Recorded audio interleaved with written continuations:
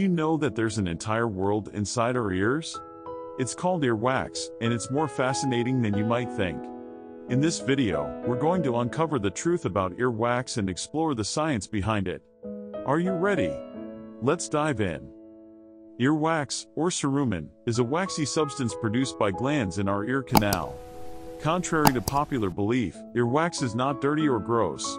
In fact, it plays a vital role in our ears' health. It protects the sensitive skin of the ear canal from dust, debris, and even insects.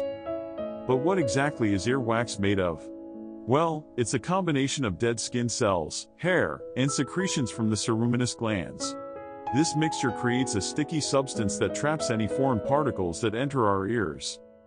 The consistency of earwax can vary from person to person.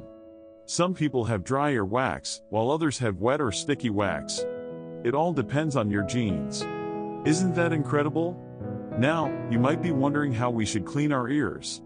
Well, the truth is, our ears are self-cleaning. The simple act of talking, chewing, and moving our jaws helps to naturally push the earwax towards the outer part of our ears, where it eventually dries up and falls out on its own.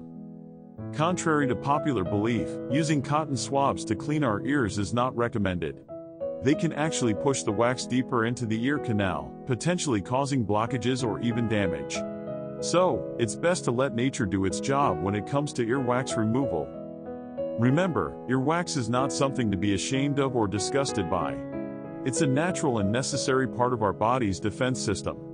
So, next time you notice earwax in your ears, appreciate its importance and resist the urge to get rid of it forcefully. Thanks for joining us on this journey into the world of earwax. We hope you've learned something new and gained a newfound appreciation for this intriguing substance. If you enjoyed this video, be sure to subscribe to our channel for more fascinating insights about the human body. Thanks for watching, and until next time.